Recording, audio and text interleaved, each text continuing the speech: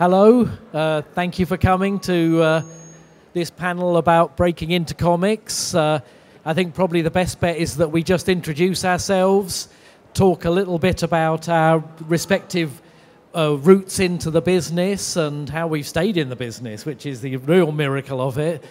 And um, then we'll ask, you know, ask you for any questions. So, Liam, do you want to start us off? Just introduce yourself. Um, I, um, yeah, I'm Liam Shalloo. Um, I'm a colorist and graphic designer, and um, mainly d- d- done work on the Transformer series for IDW, um, DVD covers for Spider-Man, a bit of Doctor Who, GI Joe, Godzilla, and um, video game stuff for PlayStation.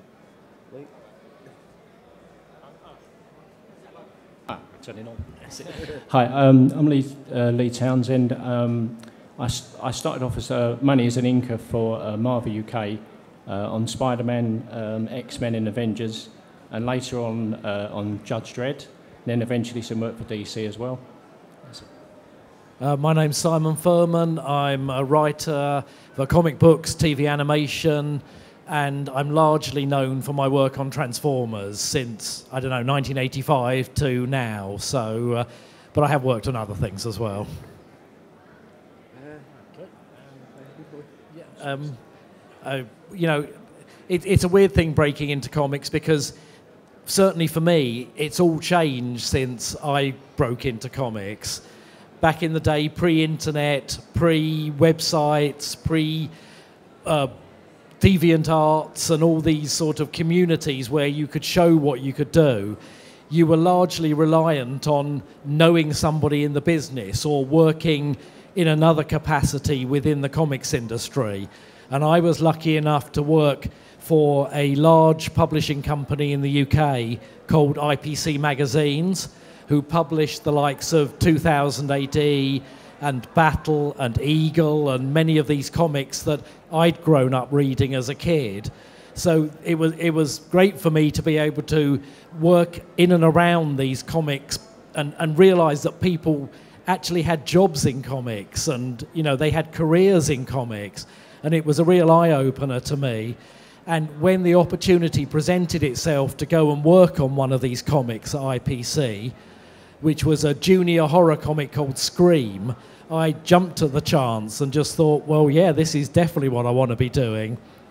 Um, and actually, Scream didn't last that long, but I got my break uh, doing some script writing because we were always behind on deadlines and we needed scripts quickly. So I had to jump in and do some emergency script writing so we didn't miss our deadlines.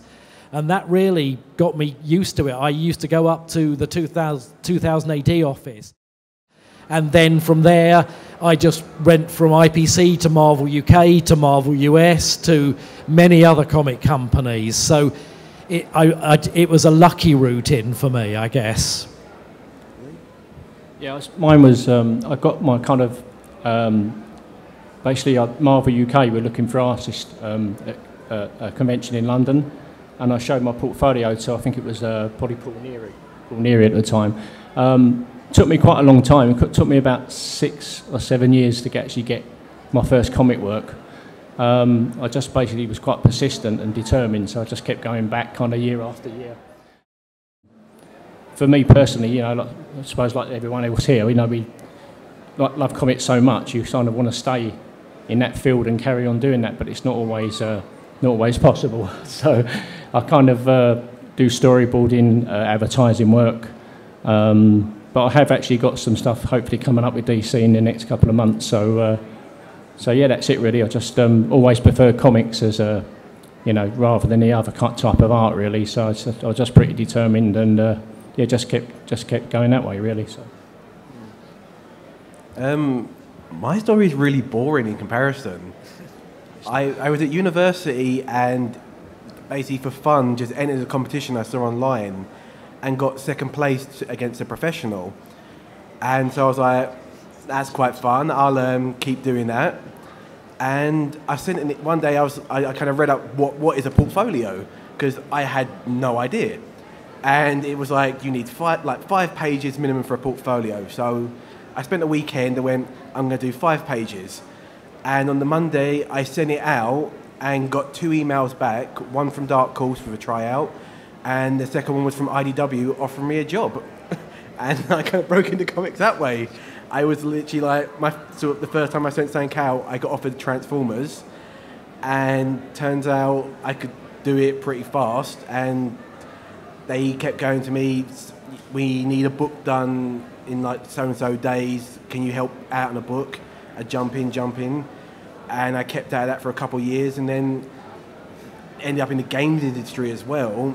Same sort of thing. They were looking for someone for two weeks to do a job, and I went sort of, I'll do it. And um, I ended up at PlayStation for five years as one of the in-house artists. As I said, much much more boring than everyone else's story.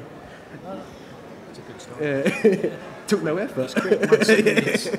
You know, but a lot of creators, you know, did get their break, as Lee was saying, by going to comic conventions like this, especially when you've got Marvel or DC or 2000 AD or Marvel UK in attendance. And often they would have portfolio reviews. Um, 2000 AD at the London conventions often have a, a thing they call the pitch fest, don't they? Where people get a chance, because it's difficult being a writer and going to a go, yes, you can draw, you can colour, mm. and you know that within a, in about 30 seconds. But with writing, it's different, difficult. So with the 2000 AD idea was that there's literally, you have a 30 second slot to, or whatever it is, to sort of pitch your idea for a short future shock or one of the other stories. And it's a really good idea because it puts you under the pressure to do that thing everybody wants you to do, which is to buttonhole your story idea into one or two sentences at most. You know, get to the real grist of your your, your, your high concept, if you like, in as short a time as possible and really sell people on the idea. So, you know, conventions are a really, really good way of, of meeting people in the business, not just the editors, other writers, artists. You know, the social side of the comics business has always been a big part of breaking into the industry. We organise a monthly get together of freelancers just to get people together, to get people talking about what they're doing, and maybe open doors, and maybe say, look, I know somebody who's looking for an inker, a, a letterer, a colorist. So, you know, the social side is very important when it comes to breaking in. But of course, there are other ways as well.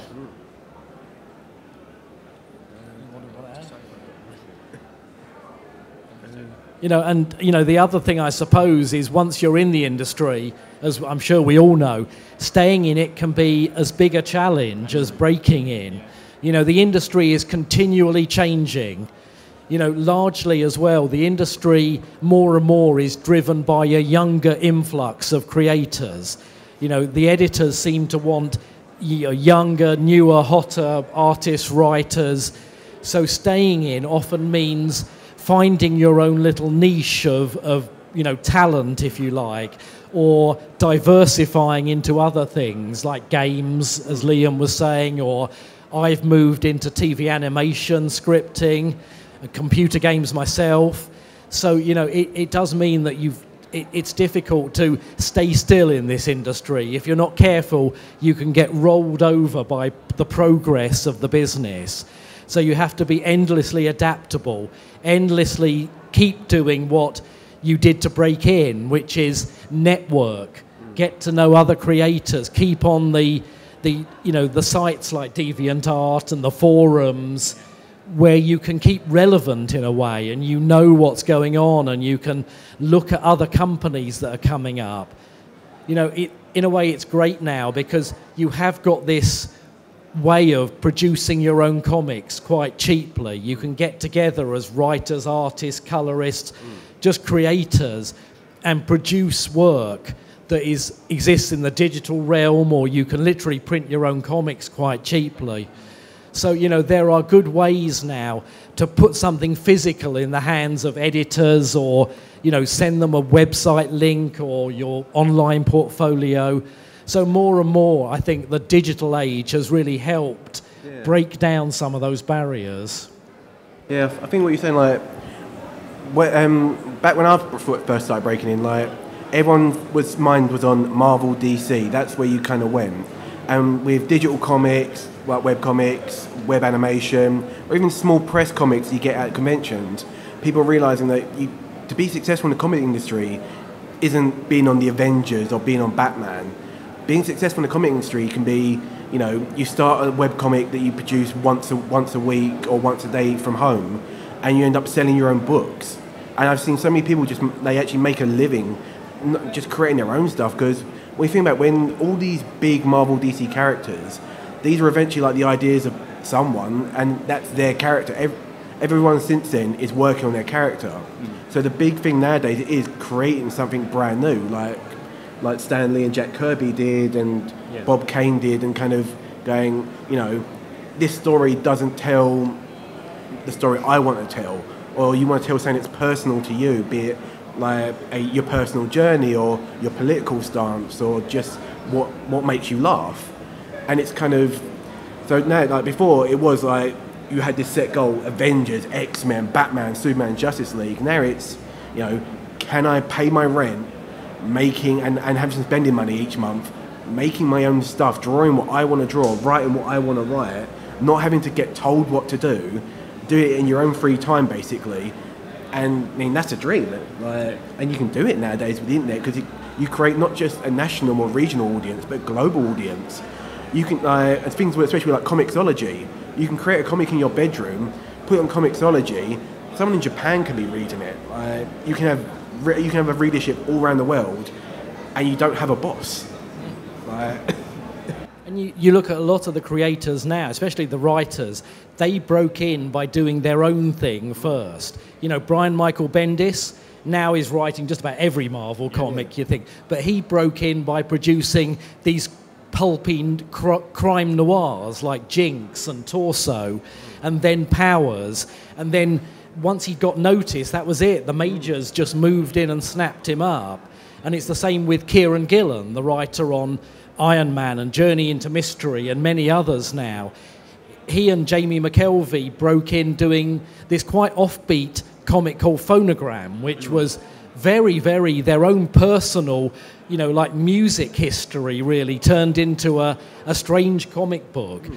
But it got, it got them noticed. It was different, it grabbed people, it got some, you know, press and web in, yeah. you know interest and then that's how they broke in really so you know this idea of doing your own comics of of doing your own thing first once you get into Marvel and DC they push you into slight channels and they want their comics a certain way in a certain feel you know you may be able to do it a little bit differently but largely you're you're in the Marvel style or you're in the DC style but to make a splash initially, you've really got to do something that grabs the attention that people haven't seen before hmm. or is quite, you know, out there. And don't be scared of doing that if you're looking to produce your comics. Push the boundaries, go places where there aren't standard comic book. You know, I've been up and down the artist alley here looking at some of the comic books, and they've got that lovely European flavour that, you know, is quite different to American comic book storytelling. And and I think, you know, that's the way to get noticed nowadays. It's to do something non-standard. I think even like um, just with readership, Marvel, DC Comics, I think sell, you sell something like 100,000 copies a month, that's a number one seller. But you look at things like Asterix, I think their last print run was 5 million copies. European comics, everyone again thinks Marvel, DC. European comics had its own personal niche and it's so, it's much bigger really than American comics it's, it's more popular, and it's more long lasting.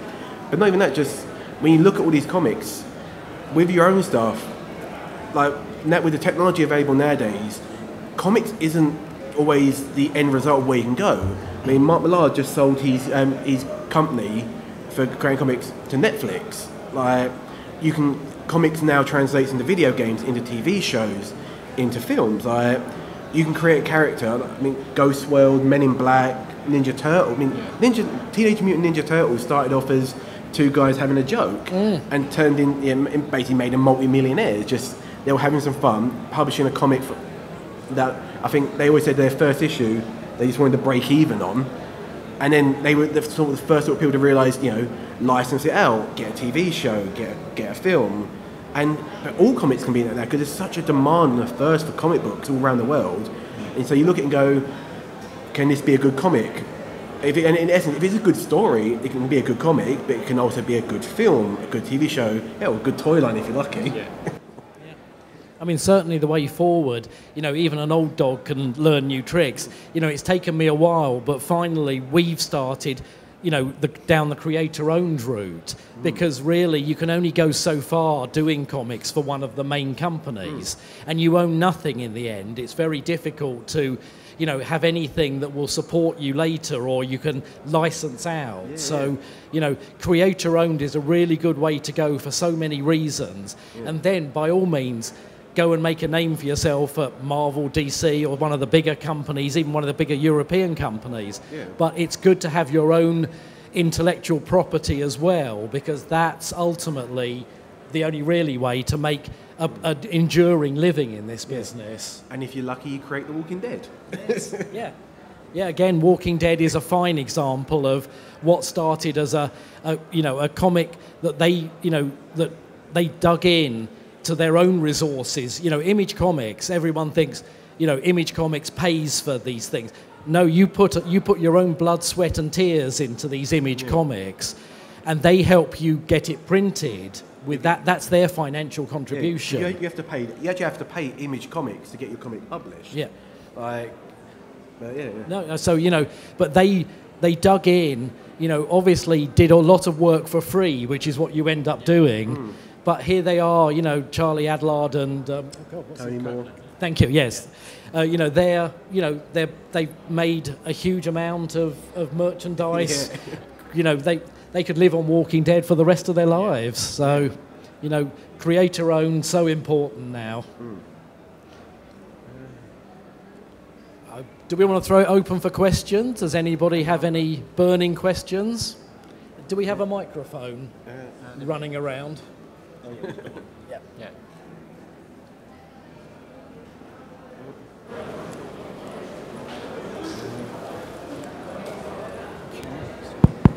Hello. Ah, hi. So, um, uh, basically, f- the first question is uh, for Liam.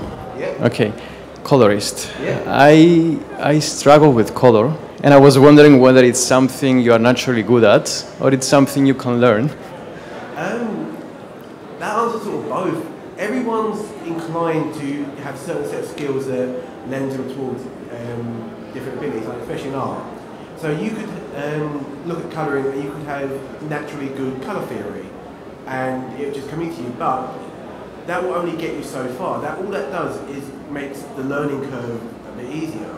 Once, but if you go and put your nose to the paper and you kind of you work hard and you practice and you study and research it, you can get good at it either way. It just all it does, it just means it takes more time. I mean, this, and especially with, colouring in particular, there's so many online tools that can be systems that most professionals use. Like um, Adobe have a bit of software which just allows you to um, do colour wheels, which is learn what's all your contrasting colours, your complementary colours. And once you start doing, once you start do, doing these tools, you sort of, in the end, you pick it up like muscle memory. So you know what colours go with what, what tones go with what, and what will contrast, and you you sort of learn what looks good to your eye. And I think to be good at something, you have to know it's good. You have to develop that skill as well. Because that's always when someone's bad at something, they usually don't know they're bad mm-hmm. because it's equally the same skill. So you research on books is great as well. Look at them. Look find online color palettes is a good trick. And you kind of look at it and you start look at it and go, what is, why is that working? What's good about it? And once you in your brain know what's working, and you start putting it towards like your own art, though that skill will just allow you to become better, and actually it will allow you to improve quite quickly. Uh, because I I didn't study art, but when I do something in pencil or ink, I just get a feeling Yeah. whether something is good or not, or whether something is missing and I should add it. But with color, I just look at it like that and I have no idea what color to add. I think every artist has a chink in their armor. There's a weakness, but the difference with some artists is some artists will find something they're not good at and will avoid it like plague, mm. and they will focus on what they're good at. I always think if you find something you're bad at, that's what you need to focus on, because that makes you a great all-rounder. Like, if you put, if you keep working on the thing you really hate, like drawing or with colouring, like something you really hate doing, eventually you improve it, and eventually you, you find there's nothing really I'm not good at. I mean, you know, we, we, we did a series of interviews with comic creators a while back, and we did one with Todd McFarlane. And Todd McFarlane was very much like, like he couldn't draw hands, so he filled volumes with hands mm. until he felt confident with them. You know, he just wouldn't let it drop. He was like a dog with a bone. Until I, I master this, I'm, just, I'm not moving on really. So, and you, you do, you have to address any kind of weak points, not run from them, like as Liam was saying. You do need to focus down on that, and you know, otherwise you'll never really improve. You'll Yeah. always be that level. Yeah, because you, you always see there's some artists, a lot of artists hate drawing thick, and you'll see a lot of them, if they've got a cover or something, they'll draw a bit of smoke over the feet all the time, or everything's shot from the knees upwards. And, and that's just, and you look at it, and after a while you kind of learn, that's an artist who's got a weakness, but won't confront it. It's, once you know what you're looking for, it's really telling. So if you just keep at it, and you kind of, you know, look, research all the tools, because there's so much free stuff available to help you learn and just tackle it. And every time you tackle it, you go, I hate this, I hate this. All you do is go, I'll just do it again then. And you keep going, like I said, like a dog with a bone. And eventually, you, you will. Like, there's- you have no choice but to improve. Right? When you put that much work in, you just will improve. I remember when I got very first um, I did a future shock for 2000 AD which I penciled and inked and the very first page I had to draw uh, all the things I hate. So it was um, basically crowd scenes, horses, loads of hands. Um, so especially in comics as well because you always get asked to draw all the different things. Yeah and um, so I, when people sort of ask me and they say you know I'm not really you know, a lot of people struggle with hands or you know, some people might uh, struggle with certain poses. All I always say, I always say to them, draw the things that are really difficult to you, just keep drawing them over and over again, like Todd McFarlane, you know. And I, I still do, you know, I still go live drawing as much as I can, and, uh, you know, if, if there's, you know, I've got loads of sketchbooks at home just, um, just hands I've just drawn hands all the time, you know. You know, my hands have got better, my drawing hands has got better for me, but obviously, I, you know, I think it's good that as an artist, you, you, you, you know, you never get to the point you want to get to and you just, you, as long as you're improving and you can see an improvement, I think that's that's the main thing. You know, you will improve. People say, oh, you know, um, when I look at my drawings, they don't seem to be getting any better. But if you was to draw, say, a, a, you know, a pose of Spider-Man and draw the same pose a month later, you will see an improvement. It might not be a lot, it might be a big improvement, but you will get better if you keep doing it. You know, it's like it, the repetitive, just keep putting in the hours.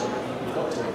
I think no artist is ever perfect. They've never reached a, you know, they're the perfect artist. Yeah. All that happened is they've got complacent. So when you see an artist who doesn't really improve, what that means is they kind of, they, they're good enough that they no one really questions it.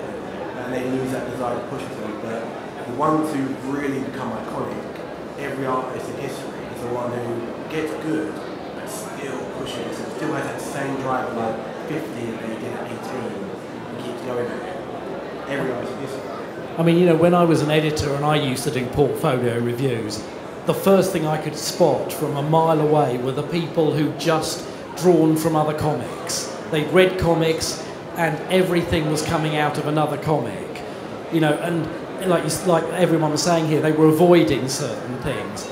But you could, you know, but you really have to be able to draw anything in comics. You know, you, you will be asked to get to, to draw a horse or a, I don't know, a jeep or a something, and you've really got to be able to draw a jeep and then skinny it down into a comic version of that thing. And you know, like an artist like say Frank Miller didn't start off drawing in this stylized noir way. Yeah, you know, that's that came with confidence. That became once he'd mastered the basics, once he knew how to draw a figure, once he knew how to draw a comic page, how to compose a comic page, then he was able to kind of throw a lot of the rules away and impose a, a real style on that. But he didn't start drawing that way. You know, you look at early Frank Miller, it's very much like a lot of the Marvel artists coming in. You know, so you know, it's it's it's always this curve. I think people want to be able to leap in and draw like a McFarlane or a Miller or a somebody, but that's not the way it works. You know, you've got to put in the hard graft, and then you develop your style on top of that.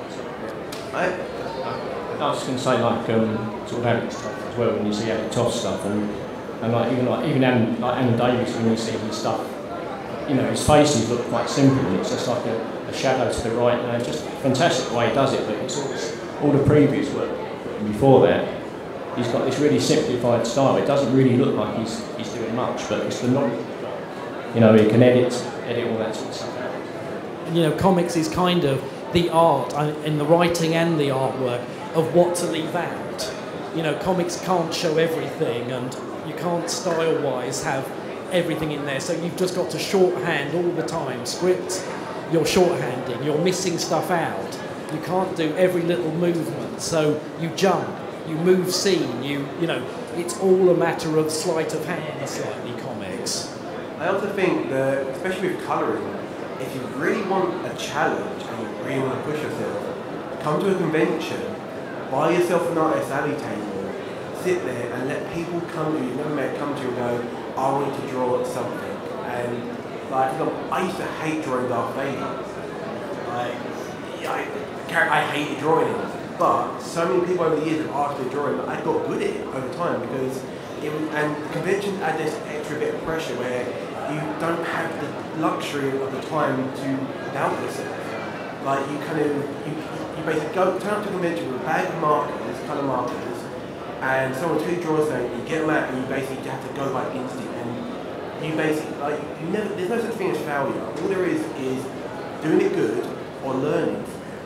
And as long as you're learning, you can you progress with time. But when people come and just throw the most random stuff at you, and you have a split second to just kind of work go, uh, you know, you're panicking the whole time, but you eventually get good at it because it's, it's just forcing you to just trust yourself as an artist. I think conventions are so good, you know, for, for, for artists and for, for artists really, because you just get channeled all the time and stuff, Yeah. stuff that you would never draw. You know, the fact that you're drawing most of the time is really well Yeah. yeah. Any, any other questions? So, um, Liam said that that uh, character he hated drawing was Darth Vader. So, a character you all hated drawing and a character you all love drawing. Um, to this day, I still hate drawing the movie Transformers. they're, they're literally, you might as well just get, close your eyes, get a pen and just squiggle on a page, and you've probably made one of them. Like, they're just, they're so complicated, they take so long drawing. It's, with robots, it's all about perspective, and it's, it's so intricate bits. And, in convention, you don't want to spend like five hours drawing one head. You kind of, you've got to work time, so you've got to learn. I mean, that way it's also good because it teaches you about negative space and characters like that. If- the more, the more minimalistic you go with art, the, um, the more every stroke of the brush counts, and the more you basically have to define shape. Instead of defining it with like all these cross sections lines, you go boom, boom, and, that, and that's you know that's a chip. You, and you kind of really have to trust yourself, and it, takes con- it takes confidence with that. For me, movie Transformers, hey, characters I love drawing, Harley Quinn. Harley Quinn. I, I've drawn her so many times over the years that it's, it's like I, I can probably do it while sleeping. It's muscle memory at this point. Right, so what about you? Um, well, funny enough, Transformers are quite difficult to draw for me. Um, I actually Everyone hates drawing them. I actually did work on Transformers a couple of times, but um, I got asked to do a sketch cover here with two characters, two of the Transformers characters fighting. But it, it's always been, it's always been, um, yeah, a tricky one for me. It's always been like um, quite, you know, quite a one that I don't enjoy so much. But um, I'm trying to think what else I, other characters I really hate. Um, I think that's probably about it, really. I can't really think of any more that I. Um, the one that I love, obviously, uh, probably probably Batman. I love probably love drawing the most, um, and Harley Quinn as well. So Scarlet Witch is another one I love. I know one thing I hear from a lot of artists what they always hate doing, especially at conventions, is caricatures. When someone goes, draw me as Batman or Superman, because caricatures you can get wrong so easily. It- It's so easy to kind of put the wrong stroke of a line, and suddenly the four-year-old drawing is 40 looking, and kind of you know, or you've, you've accidentally you know added 20 pounds to someone and kind of insulted them by accident. So I think a lot of artists I know actually, re- actually refuse to do caricatures at conventions because they're so nerve-wracking to do. It's, it's like certain people can just sort of do it more, nat- obviously more natural than others. But it's um, I always find it. I think I've got a rough idea of way of doing it now, but I've always found it seems quite daunting, especially at the early conventions. People come up and say, oh, "Can you draw me?" And it's like, okay, it's like you always kind of. It takes me a while to do it. You know, I can't do it. It's not to me. It don't come naturally, but um, certain people it does. You know, so. I mean, as a writer, obviously, I don't really have that problem, but um, I do know when I work with an artist a lot, what they, you know, you start to get a feel for what, you know, what their strengths are, what they like drawing. And with Geoff Senior, who I've worked with for, you know, over 30 years now on a lot of projects, I know Geoff inside and out in terms of the things he loves and the things he doesn't. So I just tailor my scripts now for him. And with To the Death, our creator owned project, I wrote the whole thing as, as a very loose screenplay with minimal direction, some dialogue, but just more or less just a sense of the, the, the way the story's going and just let him draw it as he wanted to. And, you know, he hates drawing talking heads, so it's like just everything's on the move constantly in it. You know, nobody is static in this whole series and you know you just so as a writer you do learn to play to artist strengths as well okay so, so okay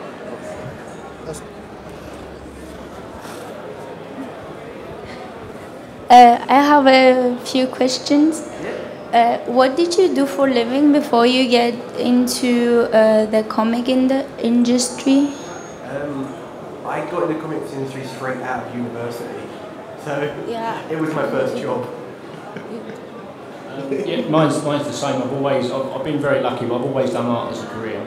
Um, I did animation before comics, and I, I started off in graphic design. But I'm, you know, I always knew from well, from when I was pretty young, it's all I, all I wanted to do really. So I just, um, yeah, I mean, from when I was about five, I just was drawing all the time. So pretty much the same now. So it's pretty. basic.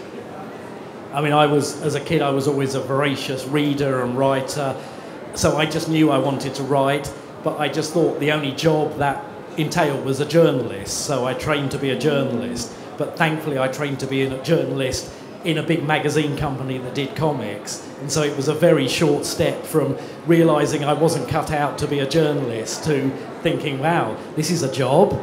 You know, I want this for the rest of my career. And, you know, so far, so good. Uh, and if you go to find a job in a company, does it matter from which university you graduate or? Um, I think in comics, same as any art job, I think the um, university you went to, same as your degree, really, is less important than the work you produce in itself. Your portfolio speaks for you. Like, university is just basically where you spend three to four years. Like most people get drunk, but um, when you when you show your portfolio, that's you, that's your ability, and if you're good enough, it speaks for them. They'll hire you based. I know why I love art of career. It doesn't matter. Like there's no politics really. You know, you went to this school, you get a shoe in. It's are you good? Yes or no, or are you what we're looking for right now? Yes or no. And as long as it's yes, you get a job. Really. I mean, in some ways, you know, university and graphic design, and they can hone a talent, but if, if it's not there, it's not there. And, you know, somebody will see that, you know, a commissioning editor, especially with comics work, will see whether, pretty quickly, whether you've got that kind of, even if it's raw talent, they'll be able to sniff it out pretty quickly.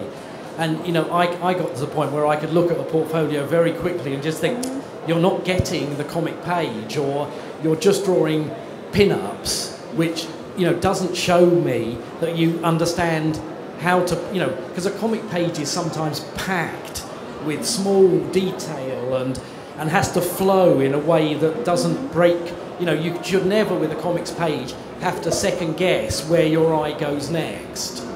And you know, that talent is something you, you just sort of either seem to have by osmosis or, you know, you don't, you know, maybe you could pick up a book and read it, but you just have to have that way of, of understanding the visual flow of a page as well. And I used to be able to spot that straight away if people couldn't. Thank you. Any other questions? Any other questions?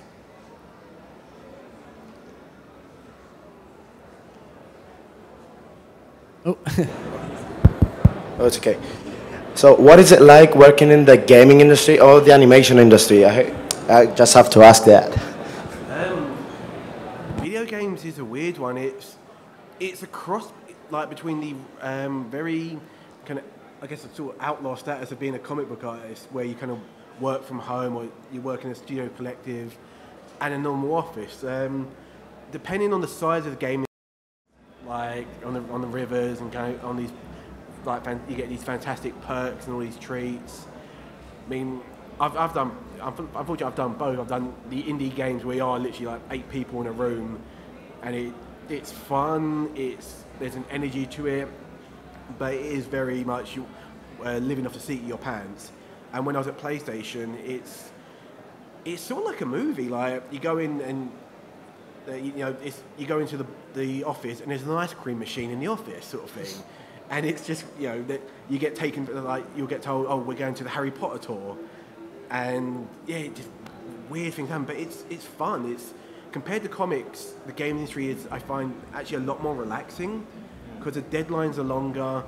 When comics you get ingrained, you've got to hit like a certain amount of work per day, and in games, they expect it to a more polished degree, but they also will go, you have a month to do one image.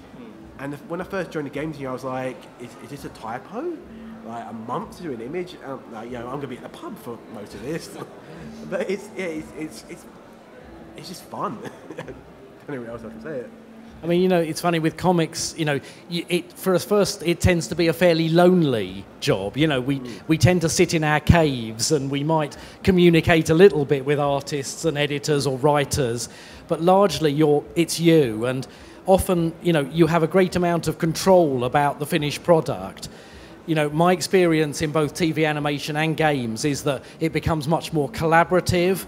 You're involved with a lot more people. You have to bury your own ego a little bit because, you know, it, it's much more about lots of people having an opinion and this thing evolving as you go along. So, you know, animation is more collaborative, games is even more collaborative. You, and I, work, I do a lot of my work for the games I work on on, on Google spreadsheets, you know, which are being edited at the same time by other people. Yeah. You know, and you're live almost. You're putting dialogue in, and somebody is is live tweaking it as you're going along. So it's it's a weird way of working, but actually, I, I really quite like it. Yeah. I think with games as well, one of the best things I got told was you have to learn to not be precious about your work.